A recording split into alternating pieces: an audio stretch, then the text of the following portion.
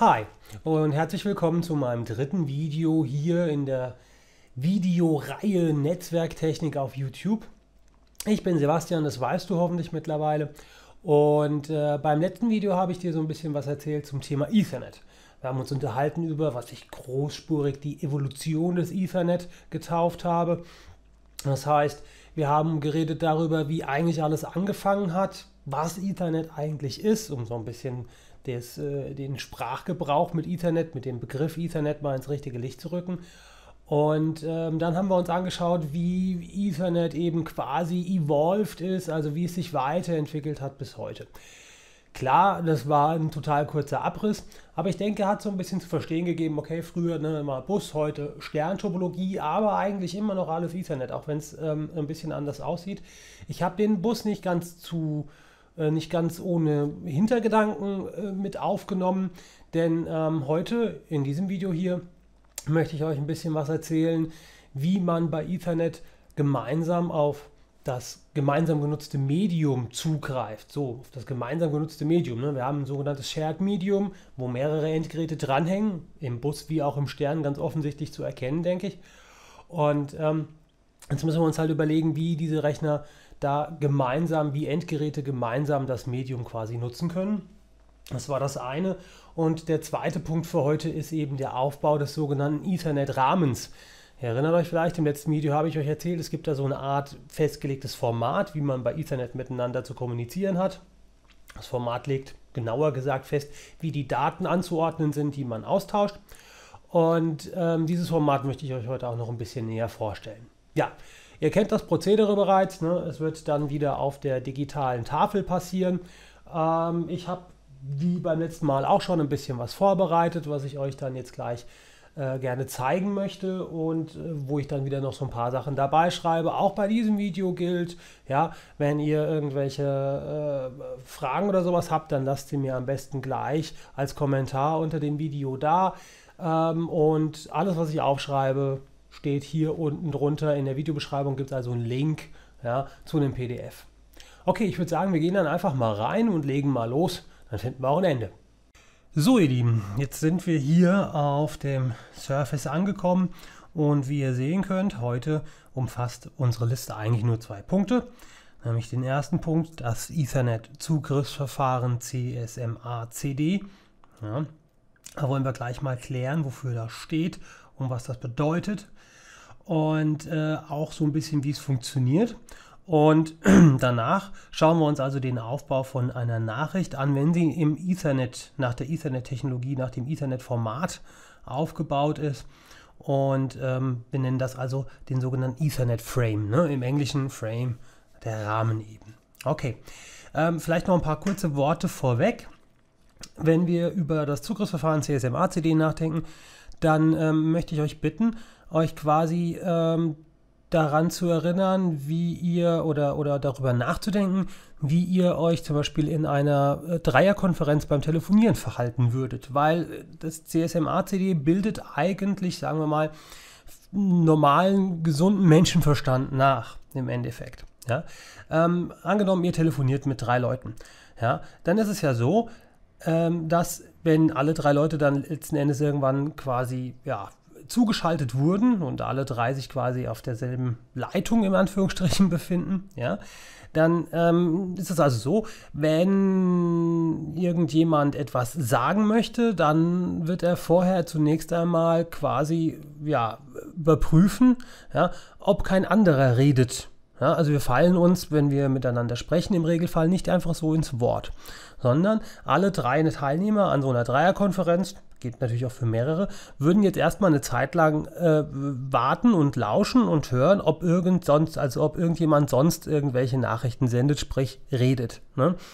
Wenn das nicht der Fall ist, dann fange ich also an zu plappern und erzähle, was ich so zu erzählen habe. Also vielleicht sagt Andrea zu Bertha, äh, liebe Bertha, wie geht's dir denn heute? Und Bertha wird dann antworten, nachdem eben wieder Stille herrscht, ja, äh, ja, Andrea, mir geht's eigentlich ganz gut. Ja, und dann stellen Sie vielleicht eine Frage an Charles, ja, und so weiter und so fort. Manchmal kann es passieren, wenn längere Zeit Stille herrscht, dass sich zwei Leute bei so einer Dreierkonferenz vielleicht gleichzeitig dazu entschließen, loszuplappern. Ja, das führt dann meistens zu Kuddelmuddel, keiner versteht den anderen. Und was machen wir dann im Regelfall, wenn uns sowas passiert? Genau, wir halten erstmal äh, äh unseren Rand und warten erstmal ab.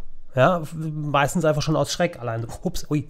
Ja, ähm, das heißt also, wir warten dann einfach und wenn dann wieder Stille ist, dann nach so einer bestimmten Zeit wird wahrscheinlich einer von beiden dann anfangen und wird sagen, okay, also ich wollte das und das sagen und dann spricht dann der nächste und sagt, ja, ich wollte das und das sagen. Ja? Also das ist ja quasi, wie wir intuitiv uns in so einer Telefonkonferenz verhalten würden. Ne? Wir fallen uns nicht gegenseitig ins Wort, sondern wir warten immer, ob eben gerade keiner redet und wenn keiner redet, dann reden wir. Okay, genau so funktioniert eigentlich das CSMA-CD. Ja? Ähm, das ist nichts anderes, nur eben haben wir jetzt keine, keine Dreierkonferenz oder, oder Mehrfachkonferenz beim Telefon, sondern eben ein gemeinsames Medium, genutztes Medium beim, ähm, bei der Rechnerkommunikation. Ich habe hier schon ein bisschen was aufgeschrieben dazu und zwar folgendes. Ähm, erstmal die Definition CSMACD. Das sind natürlich nicht einfach irgendwelche Buchstaben, die einer wild aneinandergereiht hat, sondern nein, das hat natürlich auch eine, eine Bewandtnis, eine Bedeutung. Das CS in CSMACD steht für Carrier Sense. Ja, Carrier, das ist unser Medium und Sense ja, bedeutet so viel wie, dass alle Teilnehmer das Medium quasi überwachen, das Medium belauschen. Ja, deswegen habe ich da versucht, ein Ohr hinzumalen. Ich hoffe, man kann das erkennen, dieses grüne, komische Ding da, das soll ein Ohr darstellen. Also ich bin kein Künstler, das sieht man sicherlich. Ähm, okay, also alle lauschen grundsätzlich am Medium. Ja. Multiple Access bedeutet also, dass jeder Teilnehmer äh, im Netz das Recht hat, das Medium zu benutzen, um Nachrichten zu übertragen. Ja. Also jeder darf das Medium nutzen und alle sind quasi gleichberechtigt in diesem Netz. Es gibt also niemand, der irgendwie einen Vorrang oder sowas hat. Ja, bei anderen Zugriffsverfahren funktioniert sowas vielleicht anders. Ja, es gibt auch Zugriffsverfahren, äh, wo ähm, so eine Art, äh, äh, ja, wie so eine Art Gutschein rund geht, ein sogenanntes Token, ja, wo also wer das Token gerade hat, der darf das Netz benutzen. Ähm, das ist hier nicht so, sondern jeder darf eigentlich zu jedem Zeitpunkt das Netz benutzen, sofern es eben frei ist. So, und wenn sich eben mal zwei dazu entscheiden, gleichzeitig zu senden, ja, ähm, dann kommt es zu einer sogenannten Kollision. So, betracht, äh, so bezeichnet man das. Und eine Kollision ist also nichts weiter Schlimmes, ja, aber sie kann eben auftreten. Und wenn so eine Kollision au äh, auftritt, dann eben, ne, das CD steht für Collision Detection. Das heißt also, es wird von den sendenden Teilnehmern erkannt und die werden dann dafür sorgen, dass diese Kollision wieder bereinigt wird. Ja, also indem sie andere Teilnehmer informieren, dass eine Kollision stattgefunden hat und äh, dann eben auch eine Zeit lang einfach still sind und dann wieder versuchen erneut zu senden. Okay, das ist also im Grunde genommen so die Kurzfassung und ähm, ja, ich habe das hier jetzt nochmal versucht so ein bisschen grafisch darzustellen. Ne, also wir haben hier unseren gemeinsam genutzten Kanal. Ihr seht, ich habe im Grunde genommen einen Bus gemalt mit äh, Abschlusswiderständen. Das könnte natürlich auch ein Stern sein. Ich finde es einfach auf dem Bus ein bisschen schöner zu sehen. Ja? Also dieser dicke blaue Strich, das ist mein gemeinsam genutzter Kanal. Ja? Im Englischen und in der Literatur werdet ihr immer was von einem Shared Medium lesen. Und an meinem Shared Medium sind also A, B und C die Rechner angeschlossen, ja, meine, meine Teilnehmer oder Endgeräte. Und alle drei sind im Moment am Lauschen, aber auf dem Medium ist nicht allzu viel los, wie man sehen kann. Ja. Da nichts los ist, kann also jetzt jeder der drei Teilnehmer gleichberechtigt sagen, okay, dann fange ich jetzt an zu senden.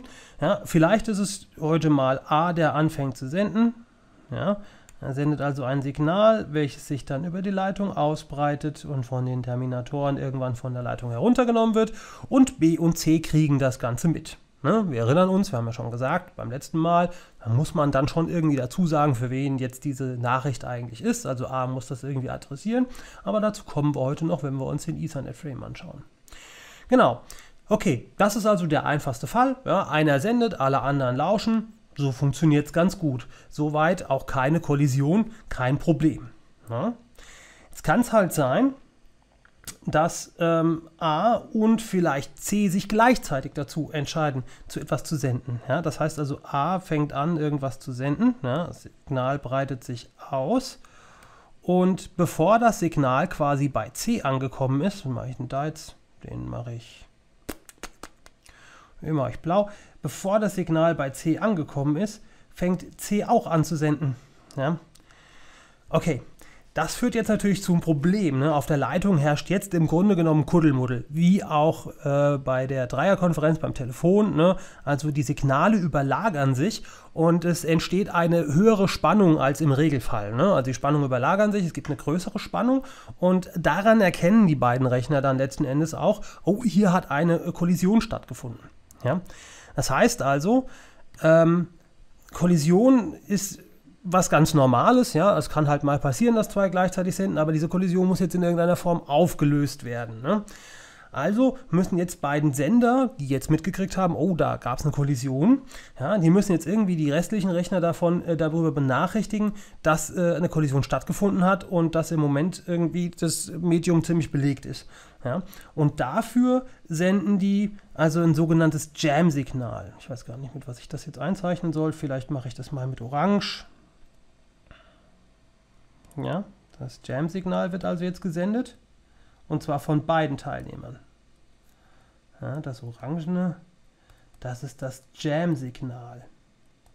Ja, Jam, das Wort kennt ihr vielleicht aus dem Englischen, der Traffic Jam, Verkehrsstau. Also auch hier ist es jetzt im Grunde genommen irgendwie zu einem Stau gekommen, irgendwie zu einem Problem, zu einer Kollision.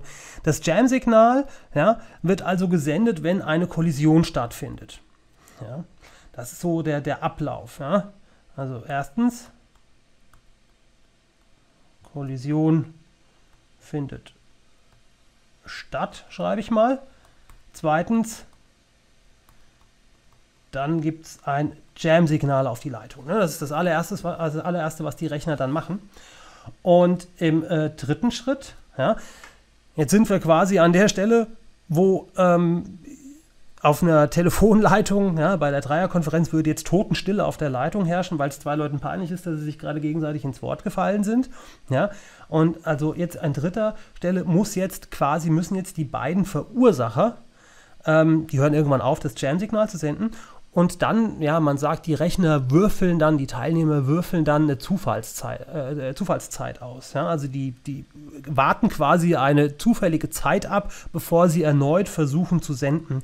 Ja? Also dieser hier, wie auch dieser hier, warten jetzt also eine Zufallszeit einfach ab. Ja? Also Rechner A oder Teilnehmer A wie auch Teilnehmer C. Ja?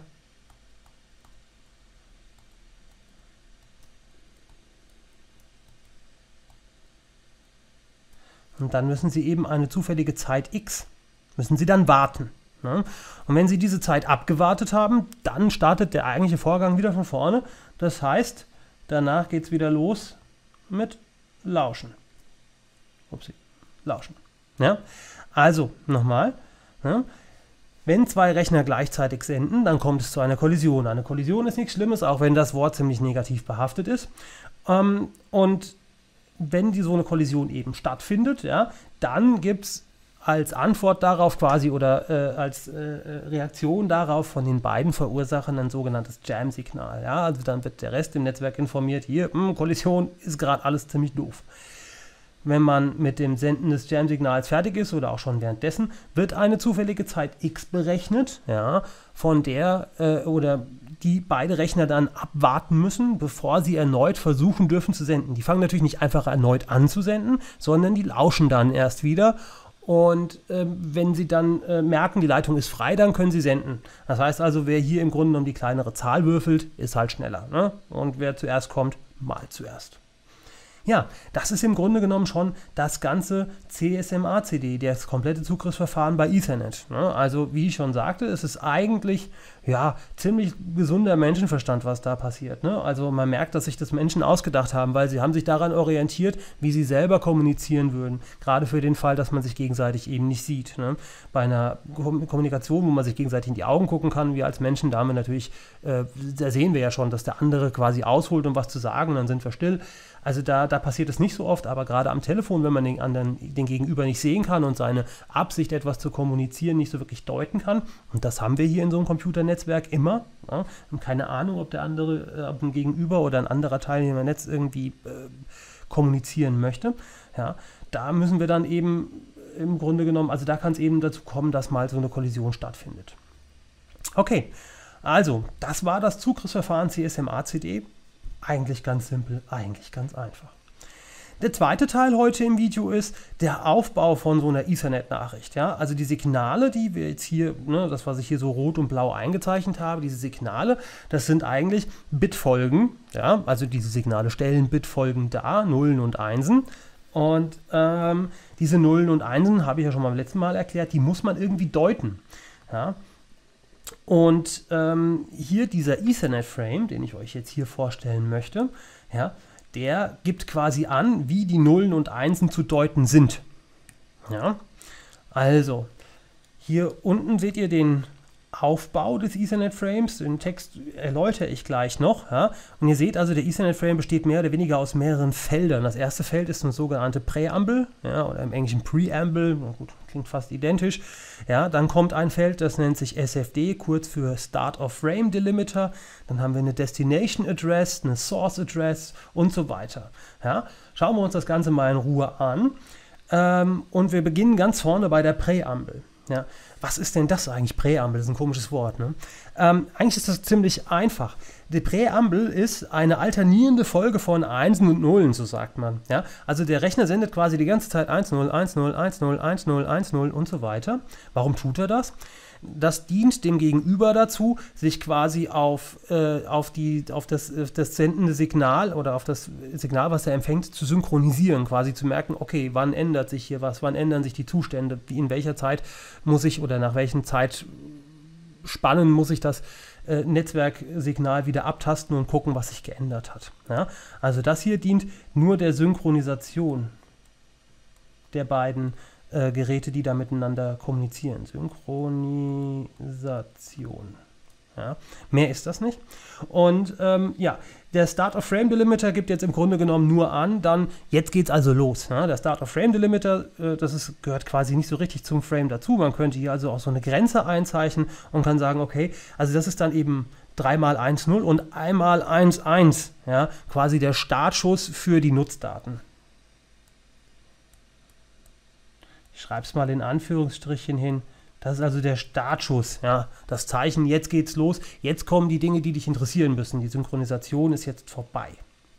Ja.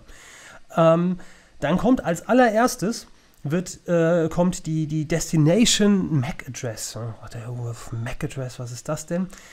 Ähm, jedes Gerät in einem Netzwerk muss eine eigene und eindeutige Adresse haben. Ja? So wie auch alle Bewohner der Bundesrepublik Deutschland. Ja? Wenn ihr einen Brief zu jemandem versenden wollt, dann müsst ihr die, die Adresse von demjenigen eingeben oder angeben auf den Brief. Und diese Adresse darf natürlich in Deutschland nicht zweimal vorkommen, sonst wisst die Post ja gar nicht, wohin mit dem Ding. Und so ist das im Netzwerk eben auch. Jedes Gerät braucht eine eindeutige Adresse, damit andere Geräte eben Nachrichten an genau dieses eine Gerät übertragen können. So eine Adresse kommt mit jeder Netzwerkkarte mit. Ja, vielleicht habt ihr das schon mal gehört. In eurem PC ist eigentlich eine Netzwerkkarte drin. In eurem Notebook sind sogar meistens mehrere Netzwerkkarten drin. Eine, mit der man äh, über das äh, kabelgebundene Netzwerk eben kommunizieren kann und eine, mit der man über WLAN, also per Funk kommunizieren kann. Egal, ob ich jetzt ein kabelgebundenes Netzwerk habe oder ein Funknetzwerk. In jedem Fall hat meine Netzwerkkarte eine solche MAC-Adresse. Ja, man nennt das also eine MAC-Adresse. Ich werde, wie so eine MAC-Adresse aufgebaut ist, werden wir noch äh, später äh, genauer erfahren, aber jetzt merken wir uns erstmal, dass die Adresse des Zielgeräts quasi zur Netzwerkkarte gehört. Das gilt übrigens auch für die Adresse des Absenders. Ja? Also diese beiden Adressen sind an die Netzwerkkarten gebunden. Jede Netzwerkkarte hat eine, upsie, eine weltweit eindeutige, ziemlich cool, Mac. Ja, also jede Netzwerkkarte in irgendeinem Rechner hat eine weltweit eindeutige MAC-Adresse. Ob die immer so wirklich ganz weltweit eindeutig ist, das sei nochmal dahingestellt, aber das Konzept der Netzwerkkarte, der, der MAC-Adresse sagt also, MAC-Adressen sollen weltweit eindeutig sein. Okay, also wenn jede äh, Netzwerkkarte so eine MAC-Adresse hat, dann kann also ein Rechner oder ein Endgerät äh, unter Angabe der MAC-Adresse ein anderes Endgerät adressieren. Ja? Und die Ziel-MAC-Adresse ist eben das allererste, was man überträgt, wenn man ähm, so einen, so einen äh, äh, Ethernet-Rahmen sendet. Warum? Klar, wenn, das, äh, wenn alle Geräte am Lauschen sind, dann lauschen die ähm, und kriegen die Preamble und den Start-of-Frame-Delimiter mit. Das müssen alle Endgeräte mitmachen, weil ja noch kein Endgerät so wirklich weiß, ob es jetzt gerade gemeint ist oder nicht. Und wenn dann die ersten 6 Bytes, ja, man sieht es äh, hoffentlich da oben ganz schön, also die Preamble ist 7 Bytes, die rote Schrift, 7 Bytes lang, der Start of Frame Delimiter ist 1 Byte lang und dann kommt die Destination MAC Address, also die Zieladresse, die ist 6 Bytes lang. Und wenn alle Endgeräte diese 6 Bytes äh, empfangen haben, dann können sich eigentlich alle Endgeräte, bis auf denjenigen, der jetzt hier an dieser Stelle adressiert ist, äh, können sich quasi wieder schlafen legen und können sagen, okay, nee, hier dieser Frame ist nicht für mich, da muss ich mir keine Sorgen machen. Ja, da ich kann auf die nächste Präambel warten und auf den nächsten Start of Frame Delimiter. Hier, das ist äh, für mich uninteressant. Ja, deswegen wird zuerst die Ziel-MAC-Adresse übertragen, damit eben Geräte, die nicht gemeint sind, möglichst früh sich wieder anderen Aufgaben widmen können. Okay, nach den beiden Adressen, also Ziel- und Quelladresse, warum eigentlich die Quelladresse, warum muss ich die mit übertragen? Logisch, wenn ich möchte, dass mir derjenige, dem ich da schreibe, auch antworten kann, dann muss ich sagen, wer ich bin, also wer der Absender des Pakets oder des, äh, des Rahmens in dem Falle ist. Ja? Also ohne die Absenderadresse hm, wird es immer schwierig. Ja? Das ist wie ein Liebesbrief ohne Absender, das macht halt auch irgendwie keinen Spaß. Ne? Ähm, ja, dann kommt der sogenannte Ether-Type. Ja, das ist so eine 2-Byte-Geschichte, die ich jetzt nicht genauer erklären möchte, weil dazu müssen wir uns wieder über tiefergreifende Dinge Gedanken machen. Das möchte ich an dieser Stelle noch nicht. Wir merken uns nur, da ist noch irgendein Feld, das wird auch übertragen und es ist für uns derzeit uninteressant. Danach kommt ja die sogenannte Payload, die eigentlichen Daten. Ich vermerke hier vielleicht beim Ether-Type, upsie, vermerke ich mal ein später. Ja, da kommen wir noch zu. Danach kommen also die Payload, die eigentlichen Daten. Ja, ihr seht, das ist 46 bis 1500 Byte groß, das Feld. Ähm, warum 46 bis 1500? So ein Ethernet-Frame muss mindestens 64 Byte lang sein. Also alles, was drunter ist, ist äh, definitiv kein gültiger Ethernet-Frame. Und das heißt also, ich muss mindestens 46 Byte an Nutzdaten in das Ding reinballern. Ansonsten nutzt es, also ist, wird es als defekter Frame erkannt.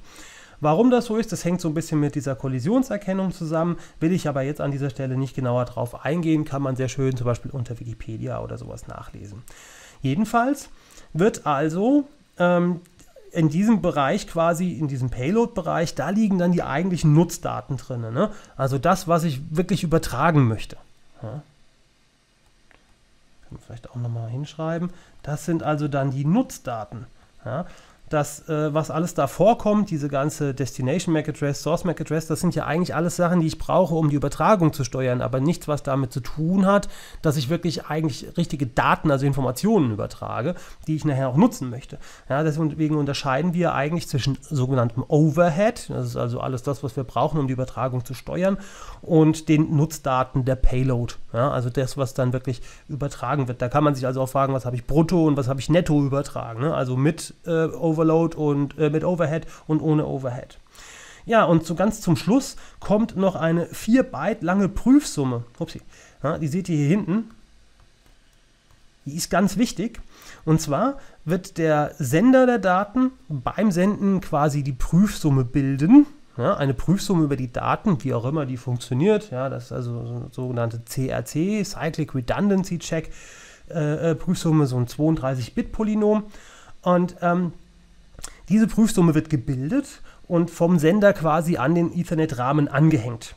Ja, also wenn man bis zur Payload quasi das Ganze an den Ethernet, das Ganze als Ethernet-Rahmen so ein bisschen sieht, wird das quasi hinten dran gehängt. Man spricht von einem Trailer.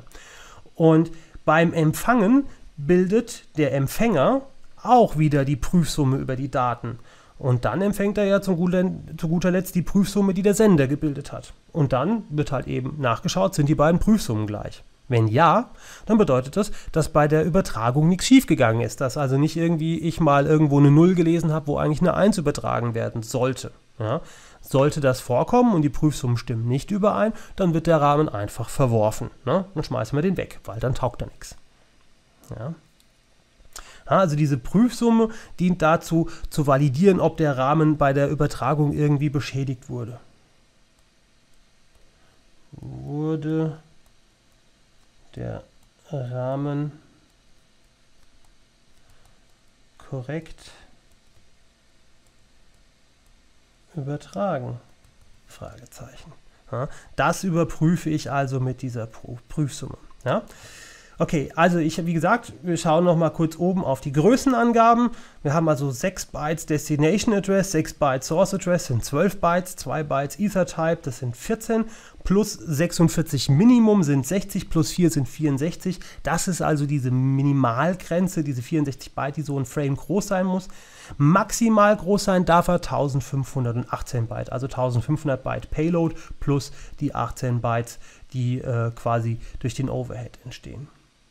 Ja, das war so ziemlich der Ethernet-Rahmen auch schon. Ne? Also, dies ist die Art und Weise, das Format, wie Daten in einem Netzwerk, was nach Ethernet betrieben wird, eben ausgetauscht werden. Ja, den ganzen Standard hier, den nennen wir, ähm, also ist der Ethernet-Standard an sich.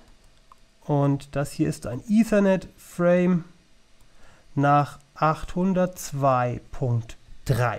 Ja, also wenn ihr das hier bei Wikipedia oder generell bei Google oder sowas eingebt, ne, dann findet ihr auch noch ein bisschen tiefgreifendere Informationen zu dem ganzen Kram. Dann könnt ihr euch da noch mal so ein bisschen reinlesen. Ja, aber wie gesagt, für uns hier an dieser Stelle, kurz und knapp wollen wir es hier halten, es geht also darum, ja, welche Daten wann übertragen werden müssen, damit dem Ethernet-Standard genügt. Ja, und ihr seht schon, es fängt also an mit der Zieladresse, dann kommt die Quelladresse, dann kommen irgendwelche anderen Daten, dann kommen die Nutzdaten und zum Schluss noch eine kleine Prüfsumme. Okay, ähm, das war's dann, denke ich, auch soweit. Ne? Zugriffsverfahren CSMA-CD haben wir jetzt hier kennengelernt. Wir denken dabei immer daran, wie eine Kommunikation am Telefon abläuft, gerade wenn wir vielleicht sowas wie eine Dreierkonferenz oder sowas haben und die Leute eben warten und äh, lauschen und gucken, wann kann ich was sagen. Ja? Und ähm, wir wissen also jetzt im Falle der Rechnerkommunikation, dass diese Signale, die ich hier rot und blau eingezeichnet habe, nicht äh, einfach nur ne, irgendwelche elektrischen Signale sind, sondern von uns eigentlich als Nullen und Einsen interpretiert werden. Und diese Nullen und Einsen wiederum werden dann eben äh, interpretiert nach dem Aufbau, wie ich ihn hier zeige. Ja? Also mit Präambel, Start of Frame Delimiter, Destination MAC Address und so weiter und so fort. Okay. Ja, ihr Lieben, das war's dann heute mit diesem Video zum Thema CSM-ACD und Ethernet Frame. Ich hoffe, es hat euch gefallen. Ähm, beim nächsten Mal werde ich euch ein bisschen was zum Thema Hub versus Switch erzählen. Also, was ist der Unterschied zwischen einem Hub und einem Switch? Bisher habe ich das ja noch nicht so wirklich genau erläutert.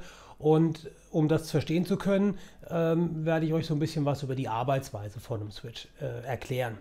Das ist insofern ganz wichtig. Also man könnte natürlich einfach äh, diese ganz platte Erklärung wählen und sagen, ja, so ein Switch ist ein intelligenter Hub. Das ist auch nicht falsch, aber sicherlich äh, ist eine etwas ausführlichere Erklärung über die Arbeitsweise von einem Switch nicht verkehrt. Allein schon, wenn ihr später als Administrator in einem Unternehmen seid und ihr wollt einen Switch kaufen, dann lest ihr verschiedene Datenblätter und dann wollt ihr verstehen, warum der eine Switch vielleicht teurer ist als der andere und ob er deswegen besser für euch geeignet ist. Ja? Und um sowas besser verstehen zu können, um überhaupt grundlegende Sachen in solchen Datenblättern verstehen zu können, ist es immer gut, sich mit der Funktionsweise von solchen Geräten auseinanderzusetzen. Also, deswegen beim nächsten Mal Hub versus Switch. Ja? Ähm, wenn ihr irgendwelches Feedback für mich habt, wenn euch heute besonders gut gefallen hat, aus was für Gründen auch immer, oder besonders schlecht, wenn ihr sagt, hier, du solltest mal dieses oder jenes ändern, ja, gerne lasst es bitte als Kommentar hier unter dem Video da oder schreibt mir eine Mail, kontaktiert mich auf Facebook oder per Twitter. Ähm, also welche Social Media auch immer euch gerade passt, ja, nutzt es bitte einfach. Ja, ich freue mich über jedes Lob, über jede Kritik. Ja, vor allem immer dann, wenn bei der Kritik vielleicht auch gleich noch dazu gesagt wird, wie ich es denn besser machen könnte. Ja, okay. Ähm, ansonsten sehen wir uns einfach bei meinem nächsten Video und bis dahin sage ich mal, ciao.